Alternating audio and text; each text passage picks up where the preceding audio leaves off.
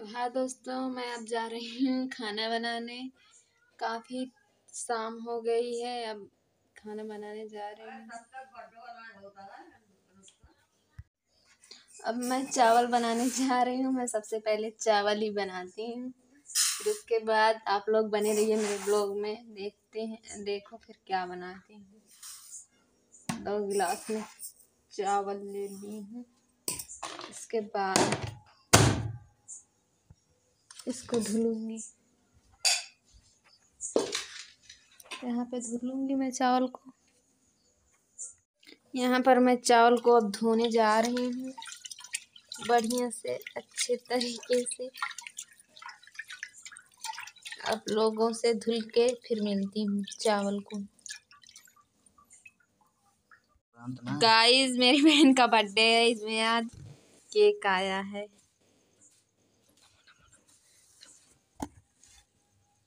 Yes, ए।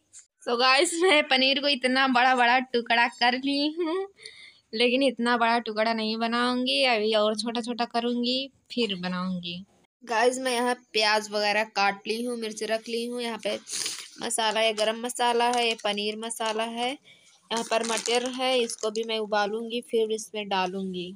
So guys इनका आज birthday है, हम लोग रेडी हो गए। तो आप सभी से मिलते हैं नेक्स्ट ब्लॉग में। सो so गाइज़ आज इनका बर्थडे है तो अभी ये रेडी हो चुकी हैं केक काटने के लिए। आप सबको दिखाते हैं केक काटने जा रहे सो गाइज़ यहाँ पे सब कुछ रेडी हो चुका है। So अब काटने जा रहे हैं केक। यहाँ पे रखा है।